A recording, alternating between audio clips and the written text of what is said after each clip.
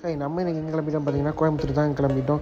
ஸ்ரீ விஜயா ட்ராவல்ஸில் ஏறினாங்க வேறு லெவலில் இருந்ததுங்க ட்ராவல்ஸும் ஏர்லி மணியே கொண்டு போய் விட்டாங்க. நம்ம கோயம்புத்தூர்லேருந்து ஸ்ட்ரைட்டாக வந்து பாரதிய நகரியாக போய்கிட்டு இருக்கோம். போகிற வழியில் பார்த்தீங்கன்னா இதுதான் கோயம்புத்தூரில் இருக்க நீளமான பாலமும் ஹைட்டான பாலமும்னு சொன்னாங்க. ஸோ அதனால் எடுத்து எக்ஸ்ப்ளோர் பண்ணலாம்னு சொல்லி உங்களுக்காக காமிச்சாங்க.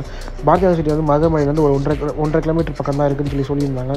நெக்ஸ்ட் டைம் போகும்போது மதுமலை காட்டுறோம். போகிற வழியில் செம்ம நேச்சராக இருந்ததுங்க. நீட்டாகவும் இருந்துச்சு. பாரதியார் சிட்டிக்குள்ளே போக போகிறோம் உள்ளே போகிறோம் இங்கே ஆல்ரெடி வந்திருந்தீங்க இல்லை ஆல்ரெடி இங்கே தான் படிச்சிருந்தீங்கன்னா கண்டிப்பாக கமெண்ட் பண்ணுங்கள் இங்கே நாங்கள் ஸ்ட்ரைட்டாக ஒரு வேலைக்காக போயிருந்தோம். லைப்ரரி வரைக்கும் போயிட்டு வேலையை முடிச்சுட்டு வெளியே வந்து பார்த்தோன்னா ஒரு மயில் நின்றுச்சுங்க அந்த மயிலை பாருங்கள் வேறு லெவலில் இருக்குது மயில் க்யூட்டாக அழகாக இருந்துச்சு. அங்கே அதை முடிச்சுட்டு ஸ்ட்ரைட்டாக நாங்கள் சாப்பிட போயிட்டோம். சாப்பிட போனால் ஒரு ஃப்ரைட் ரைஸும் சப்பாத்தி ஆட்டு போனோம் ரெண்டுமே குறை சொல்கிறது இல்லை. கொடுத்த காசுக்கு ஒர்த்தாக இருந்ததுங்க. அங்கே ஸ்ட்ரைட்டாக ஈரோடு கிளம்பி வரும்போது வழியில் பார்த்தா ஒரு பேக்கரி இருந்துச்சு. அங்கே ஒரு டீயை போட்டு ஸ்ட்ரைட்டாக கிளம்பி வந்துட்டாங்க சென்னைக்கு. By by tata